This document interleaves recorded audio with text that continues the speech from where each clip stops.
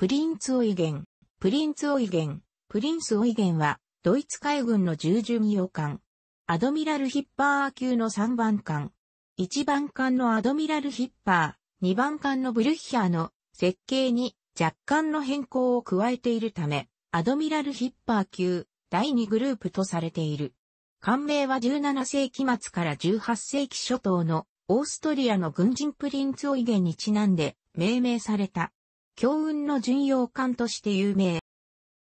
1935年11月16日発注。1936年4月23日に、キールのクルップゲルマーニア造船所で寄港。1938年8月22日に浸水。その後1939年9月に第二次世界大戦が勃発し、ドイツはイギリスやフランスとの間で開戦し、収益前の1940年7月1日に、キールでイギリス空軍機による爆撃を受け軽微な損害を受ける。1940年8月1日収益。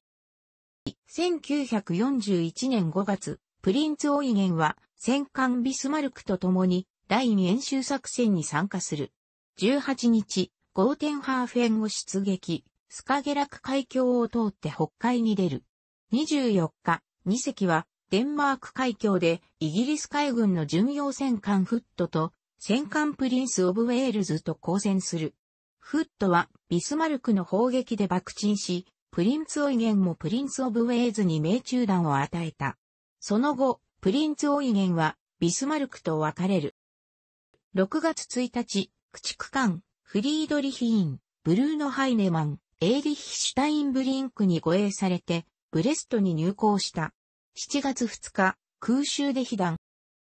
1942年2月、シャルンホルスト、グナイゼナウ、プリンツオイゲンをブレストからドイツ本国に帰還させるというツェルベルス作戦が実行された。この作戦はフランスのブレストからドイツのブルンスビュッテルまでドーバー海峡というイギリスの目の前を通過するという作戦だった。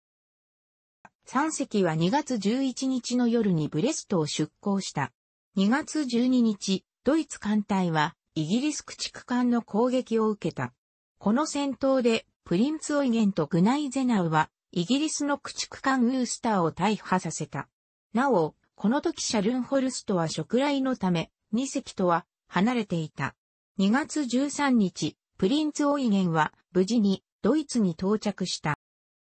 1942年2月21日、プリンツオイゲンと重巡洋艦アドミラルシェーア、駆逐艦、リヒャルト・バイツェン、パウル・ヤコビ、ヘルマン・シェーマン、フリードリヒ・イーンはノルウェーへ向かった。グリムスタフィヨルドに短時間立ち寄り、それからトロンハイムへ向かった。二日後、トロンヘイムスフィヨルド沖を航行中に、イギリス潜水艦トライデントがプリンツオイゲンを雷撃。完備に命中した魚雷により、プリンツオイゲンは大きな損害を受け送還不能に陥った。プリンツオイゲンはラフヨードへと栄光され、そこで数ヶ月にわたって修理が行われた。完備はすべて切り取られ、板で覆われて、手動の火事が備え付けられた。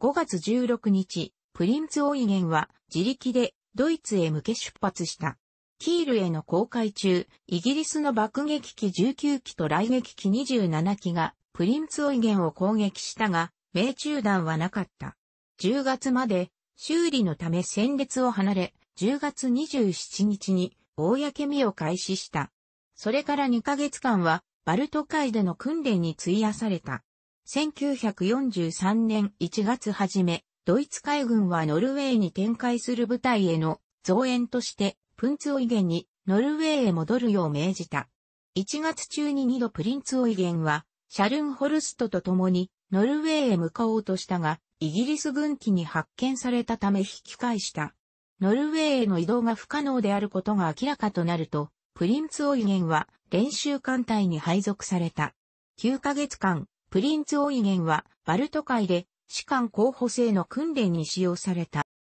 東部戦線においてソ連軍がドイツ軍を押し戻し始めると、プリンツオイゲンを法実支援艦とする必要が生じた。そのため、1943年10月1日に、プリンツオイゲンは戦闘任務に復帰した。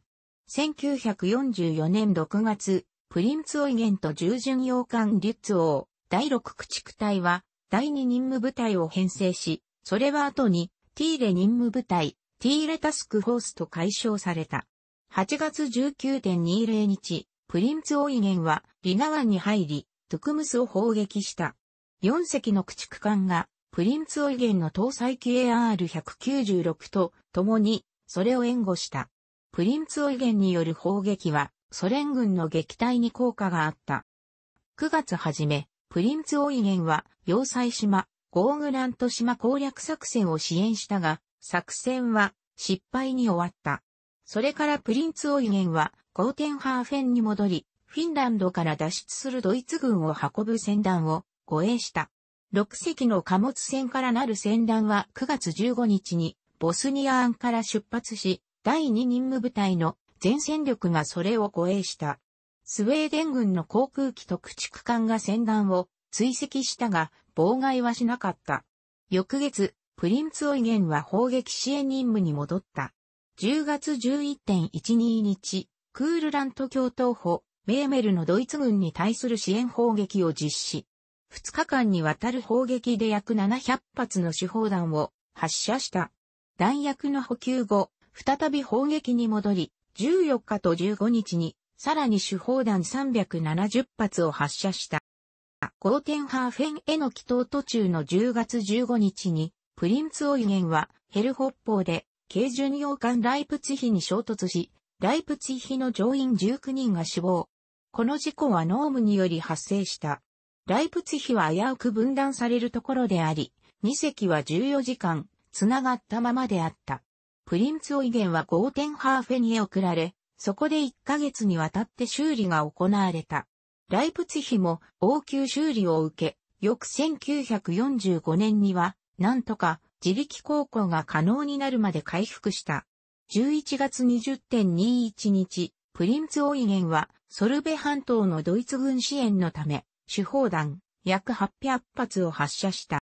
1月中旬、プリンツオイゲンはザームラントのソ連軍砲撃に派遣されたケーニヒスベルクの戦い。プリンツオイゲンはケーニヒスベルクへ進撃するクランツのソ連軍に対して手砲弾870発上を発射した。この時点でプリンツオイゲンは手砲の弾薬を使い果たしていたが、軍需品の欠乏のため3月まで港に留まり、それからゴーテンハーフェンやダンツヒ、ヘラ周辺のソ連軍に対して砲撃を行った。4月8日、プリンツオイゲンは、リュッツ王と共にスビーネメンデへ向かった。4月13日、34機のアブロ、ランカスター爆撃機が、校内の2隻を攻撃。だが、この日は厚い雲のため攻撃は失敗した。2日後に、再び攻撃が行われ、リュッツ王が撃沈された。それから、プリンツオイゲンは、コッペンハーゲンへ向かい、4月20日に到着。5月7日に退役し、翌日イギリス海軍に引き渡された。プリンツオイゲンは激戦の続く中、終戦まで生き残った幸運艦であった。戦後アメリカ軍が接収し、 USS、プリンツオイゲン、USS プリンスオイゲン、 IX-300として、アメリカ海軍の艦籍に入る。ビキニ環礁での原爆実験標的艦として使用されたが、空中と海中の2回爆発を受けても沈まず、調査と除染のためにクェゼリン環礁に運ばれた。しかし、原爆実験による浸水が増大したことから、沈没を防ぐために浅瀬に座礁させられたものの、翌日転覆した。放射能を汚染された船体が解体されて市場に出ることを避けるため、アメリカは解体せずに放棄することにした。浅瀬で沈没したために、船尾は海面上に出た状態で、現在も放置されており、衛星写真などでも見ることができる。しかし、船体内部には燃料が大量に残されていること、放射能汚染が続いていることなど問題が残っている。燃料については、アメリカ海軍及び陸軍、そしてミクロネシア政府と共同で2018年9月からサルベージ船サルバートタンカーハンバーによる回収が開始され、10月15日までに97%に当たる250、000枚、ガロン、95万リットルの燃料が回収されたと発表された。プリンツオイゲンのスクリューは、海軍出身者による団体の尽力により1979年に回収され、ドイツ本国に帰還している。魚雷発射管1機は、ブレーマーハーフェンノに展示されている。また、船昭和に展示されている。楽しくご覧になりましたら、購読と良いです。クリックしてください。